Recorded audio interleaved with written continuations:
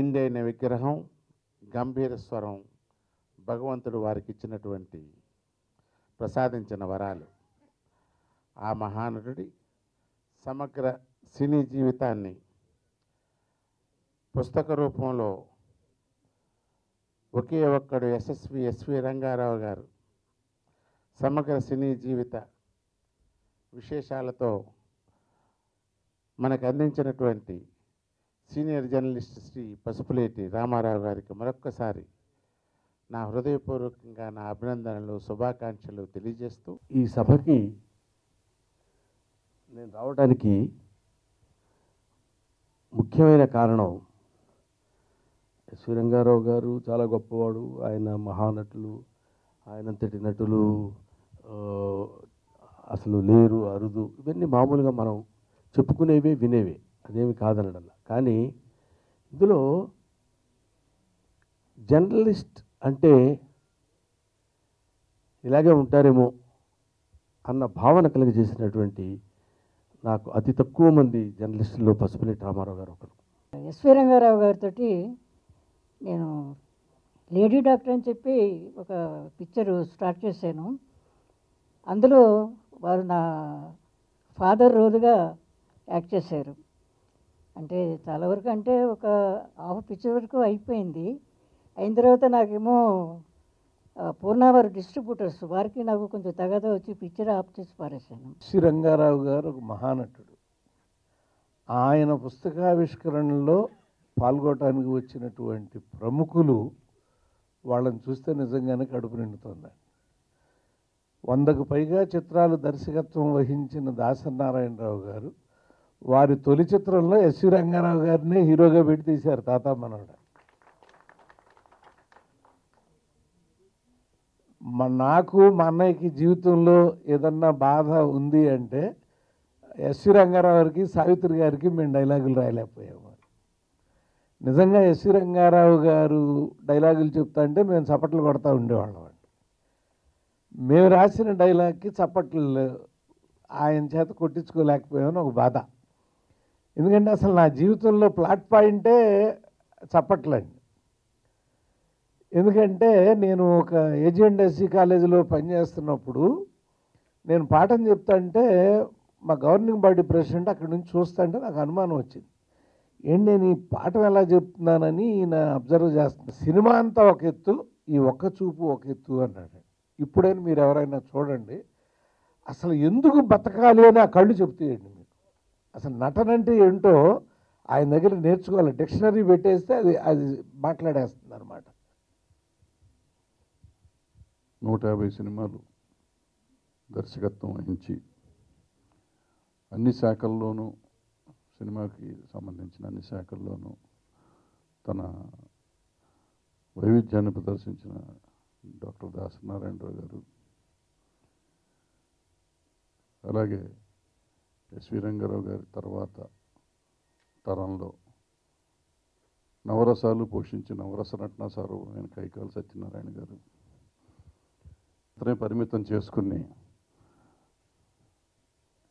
వ్యాపారంగానే సినిమాని చూసి చూస్తాం. కానీ సినిమా తను నమ్ముకున్న భావజాలాన్ని ప్రజలకి అందజేయాలని తన ప్రయత్నంలో సఫలం విఫలం అనే ఆలోచన లేకుండా ఒకే మార్గంతో ధైర్యంగా ముందుకు వెళ్తున్న సోదరుడు. జర్నలిస్ట్ అంటే జనరల్గా భారీ సినిమాలు భారీ బడ్జెట్ సినిమాలకి ఒక కవరేజ్ బీభత్సాలు ఉంటాయి. స్మాల్ బడ్జెట్ ఫిల్ములు చిన్న చిన్న చిత్రాలకి చిన్న చిన్న కవరేజ్లు ఉంటాయి.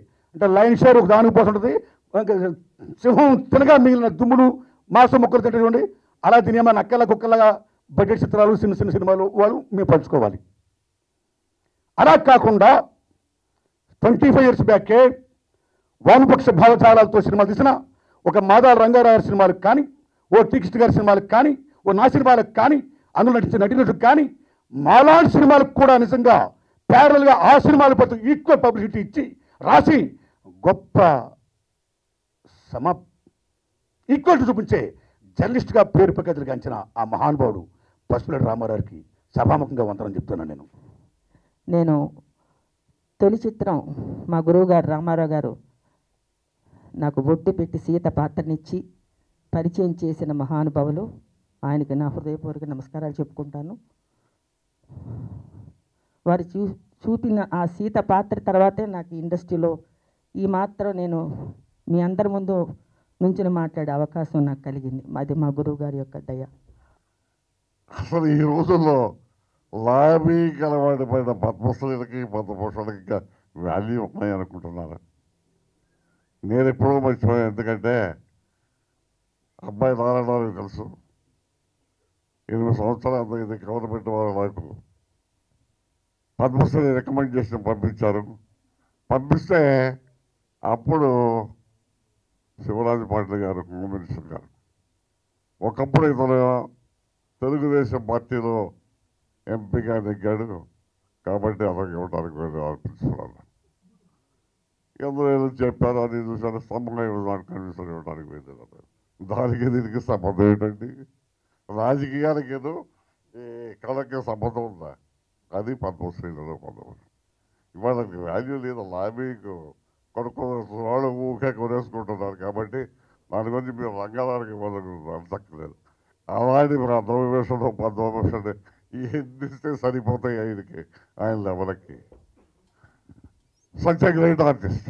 ఆయన మహానటుడు మహానటుడు అని చెప్పడం నిజము దేవుడు అడుగు నేను పొందడానికి అంత ఎంత సత్యమో ఇది అంత దాని గురించి వేరే చెప్పక్కర్లేదు. చెప్పడానికి అసలు మాటలు లేవు పదాలు లేవు వాక్యాలు చాలవు ఆయన నేను ఆయన విషయంలో నేను రెండు రెండు అచీవ్మెంట్స్ సంపాదించాను. అది నా అదృష్టంగా చెప్పుకుంటున్నాను కానీ గర్వంగా చెప్పుకోవట్లేదు. మా అబ్బాయి నవరస నటన ధురీణ సత్యనారాయణకి. మా అమ్మ కృష్ణవేణమ్మకి. ఇక జయ మా సోదరుడు ఎందుకంటే ముఖ్య అతిథి కొంచెం ఎక్కువ మాట్లాడాలి. కానీ నా ప్రసంగం అంతా సత్యాన్ని చేసాడు కాబట్టి నాకు ఎంత మిగిలింది అంతే చెప్తా. పసుపులేటి రామారావు మీ అందరికీ ఎంత పరిచితుడో నాకు కొంచెం ఎక్కువ పరిచితుడు. మా ఇద్దరి మధ్య అనుబంధం ఐ థింక్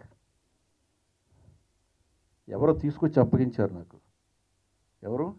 రామారా నేను తీసుకొచ్చింది ఎవరు? నలభై రెండు సంవత్సరాలు నలభై మూడు సంవత్సరాలు అవుతుంది అతను వచ్చి. నేను ఇందాక చక్కని మాట అన్నాడు బ్రహ్మానందం. మాట్లాడుతూ కొంచెం ఎదిగే కొద్దీ చిన్న బలుపు ఏదో కనపడతా ఉంటుంది. ఎవరిని అనడం ఎందుకు నేనే అనుకుంటాను? అన్నాడు. నలభై సంవత్సరాలుగా మార్పు లేని మనుషులు ఇద్దరినే చూస్తున్నాను నేను ఈ ఇండస్ట్రీలో.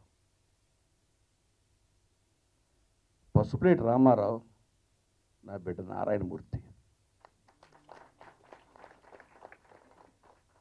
నేను ఒరే రిక్షా సినిమా తీసిన తర్వాత అరే ఏంట్రా నువ్వు ఆటోలు ఏంటి? ఈ బస్సులు ఎక్కడం ఏంటి? ఎలా నువ్వు ఆర్టిస్టురా? నేను కారు కొనిస్తాను అని చెప్పి కారు ఆర్డర్ ఇస్తే గురుగారు మీకు దండం పెడతాను గురుగారు వద్దు గురుగారు. బాబు వద్దు వద్దు వద్దు, దండం దండం పెడతాను గురుగారు వద్దు గురుగారు. ఈ రోజుకి ఎంత సంపాదించాడో ఆ సంపాదించినంత ఆ ఊరికే ఇచ్చాడు. అప్పటికి ఇప్పటికి ఏ మార్పు లేదు. రామారావు. అప్పుడు ఎలా ఉన్నాడో ఇప్పుడు అలాగే ఉన్నాడు. అంటే దీని అర్థం మారిపోమని కాదు. అంటే కొన్ని మనస్తత్వాలు అలాగే ఉంటాయి. అదే నిదానం. అదే వ్యక్తిత్వం అదే మాట.